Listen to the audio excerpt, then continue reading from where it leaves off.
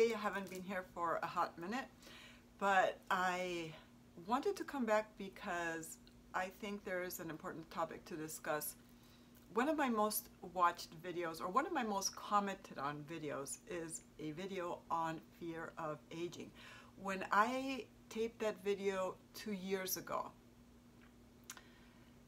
I think it was two years ago, I never imagined that people in their teens, 20s, and even 30s were going to be the ones telling me that they are or you are scared of getting older, that you are consumed with thoughts of death and how you might um, not be loved when you're older, how you might not be successful in the industry or the industry that you picked to work in, how, uh, my goodness, so many fears that I have read about that they really floored me. Um, to all of you who are younger, I don't dismiss that because I feel there are too many older people already saying, oh, you're young, you know, you shouldn't be worried about that. But everything is relative. And I remember when I was 25 and I had my only, um, you know, like, oh my goodness, I'm getting old moment. And it, it, it lasted like a couple of months. Um, I was also depressed, clinically depressed, not just a little bit down or what have you. And this idea of being 25, it felt like I was a quarter of a century that I was somehow like on a ledge of falling into old age, what have you. I went to therapy, I resolved it, and well, I, not resolved it, but I kind of dealt with it and moved on. And so another time that I was very afraid of dying and of, you know, getting older was when I was seven. I would wake up in the middle of the night and cry my eyes out and have this really horrible anguish because I started counting that in the year 2000, which was 20 years ago, I would be 37 and I thought that was super old. And at 37 I had my first baby. So I looking back of course that seems like absolutely nothing. I'm 57 now. And I also thought that my elders would be dead by the year 2000 and then my abuelita, my grandmother, lived on to turn 102 almost and she passed two years ago. So mm, what can I tell you is I got a, a really heart-rending um, DM the other day. Well, actually, I'm, I'm, you know, I get a few.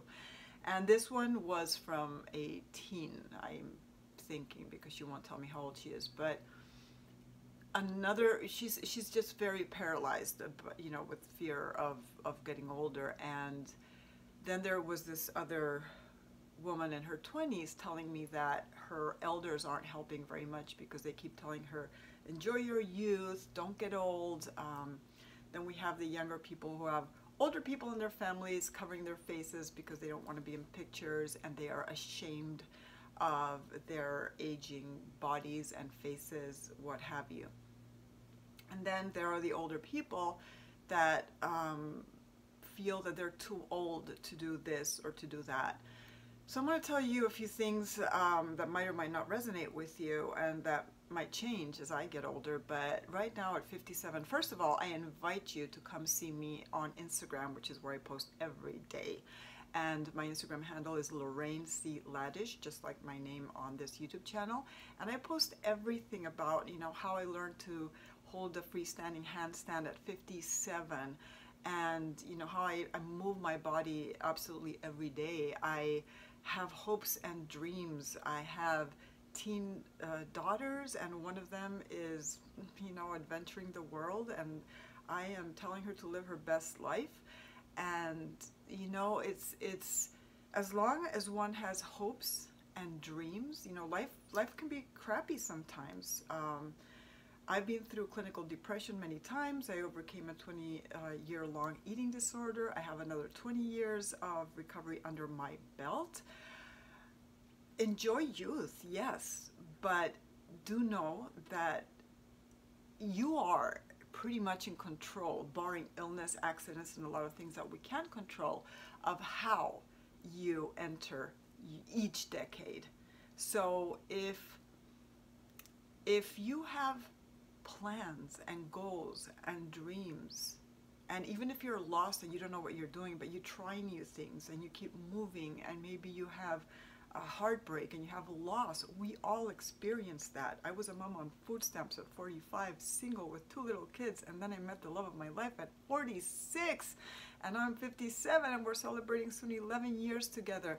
Who would have told me that? I don't think I've even peaked yet. And to the people who say, um, you know, I'm afraid of death, well, we're all going to die. So, what I'm realizing now, after I took a 500 hour yoga teacher training course in my 50s and studied um, Hindu philosophy and yoga philosophy, which um, you don't necessarily have to agree with everything, but it does talk a lot about enjoying the now. We don't know what's going to happen tomorrow. We don't know if, I don't know if there's a next life or what have you.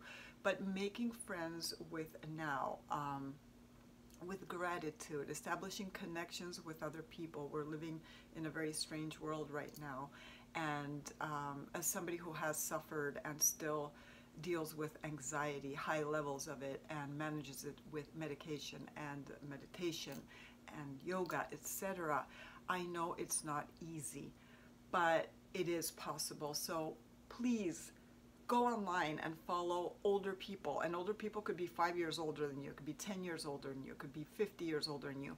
But follow the people who are not complaining because people who complain at 20 will complain at 80 and will complain at 50 and all that. Um, people who are resilient will be resilient in their 20s, in their 30s, in their 50s, in their 80s, and up until the time of death. So I'm just here to tell you that I am such a happier, more well rounded, more compassionate, self assured person than I ever was when I was younger. I don't think that has to be the same way for everybody. I feel that you can lead a fabulous uh, youth. My 19 year old is proof that um, you don't have to go through a horrible 19 um, year 19 year old year as I did. But the point being is um, that you have control. You have control over exercising every day, you have control over uh, consuming or not consuming drugs that are going to mess up your head and your body. You have control over what news you con- uh, consume, um, what you practice daily, the people you surround yourself with, the people you follow online. And um, yeah, just it is possible to be. I can just speak for 57 because this is how old I am now. And there will be older people who will say, yeah, yeah, you just wait till you get to your 70s. Well, you know what? I know a lot of women in their 70s and men who are wildly um, joyful and happy and on purpose and all this and you know that that and 80 year olds and 90 year olds and uh, i feel that if you really focus on who you are inside as a person and again surround yourself with people and just block out like uh, completely block out if you are able to. The ones who tell you that aging sucks um, because a lot of in life sucks, but we still deal with it. Block them out and pick and choose the older people who, like me, can tell you that it does not have to suck getting older. I hope this helps. Find me on Instagram and like this post if you like it. Share it with your friends. Share your doubts, your concerns. I'm here for them. I think youth needs to be heard because um, I don't know. We just assume that that that you're a certain way, and we were young once. So I feel that you need all the help you can get, just like I wish I had had all the help I could get when I was younger. So, anyway, thanks for being here.